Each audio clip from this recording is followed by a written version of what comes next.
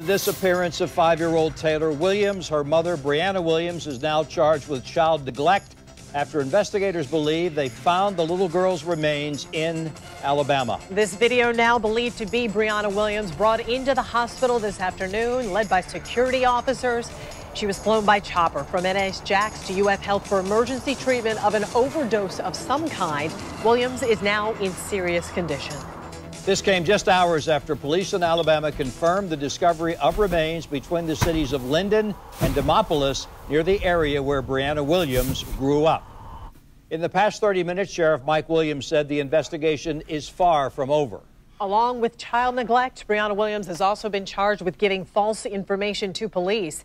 In the past 10 minutes, the Navy sent us a statement which reads, quote, Brianna Williams remains administratively assigned to the Tactical Operations Center. The Navy is fully cooperating with civilian authorities as they continue to investigate, end quote. We have several reporters covering the major developments. We begin with News4JAX reporter Jim Piggott, who's joining us from UF Health. Jim? You know, I was trying to talk to hospital officials about Brianna Williams' condition. At this point, they really can't talk about that, only to say that it is serious. At least that's what we're learning from our sources. In fact, what we're learning from sources is that she's actually here. The sheriff didn't specifically say that, but we saw a helicopter land and, from what we witnessed, a woman being taken inside. Take a close look at this video. Sheriff Williams says Brianna Williams overdosed at NAS Jax and she was flown by helicopter to a local hospital. We saw the helicopter land, and you can see the blade on top of the roof. And then shortly afterwards, we saw the stretcher led by two security guards and others around attending to the person. Because of privacy issues, hospital officials can't confirm that this is Brianna Williams.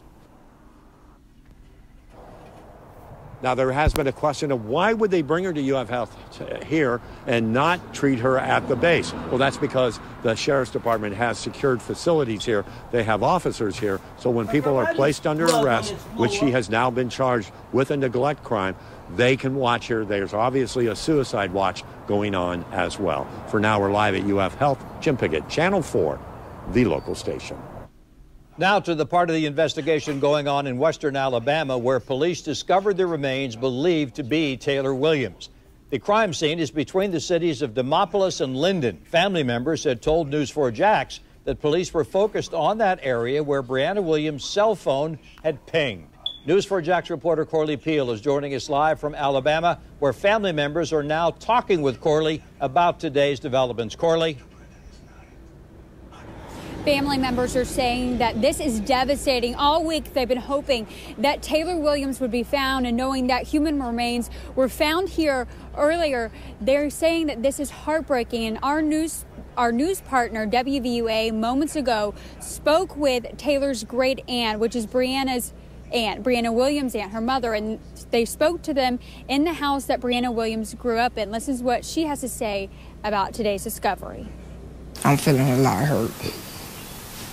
It's just something. So it's unbelievable that it's going on right now, man. But uh, as a family, we're trying to work through it, you know, and just trying to get closer together.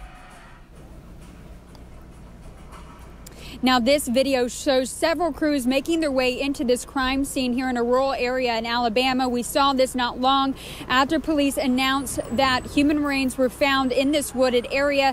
JSO crime scene unit vans and the State Bureau of Investigation, as well as several other undercover detectives have been here, and JSO says that they received a tip that drove them to search this area of Alabama. And we've learned from sources and from family members that Taylor's mother, Brianna Williams' phone pinged in this area.